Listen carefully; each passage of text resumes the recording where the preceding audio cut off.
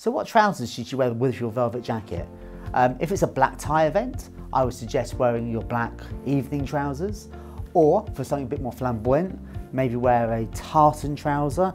Um, ideally, if one of the over checks in the trouser matches the velvet, always looks very smart. As an alternative to that, but you still like the idea of a check, Prince of Wales checks and houndstooth always look great with a velvet jacket, slightly less formal, perhaps not quite so right for, for black tie events.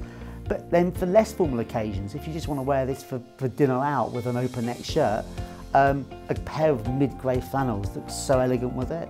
Also consider corduroy. Um, a dark pair of navy corduroys looks great with a, a, a brighter jacket and something you could wear, you know, to a smart bar or a restaurant.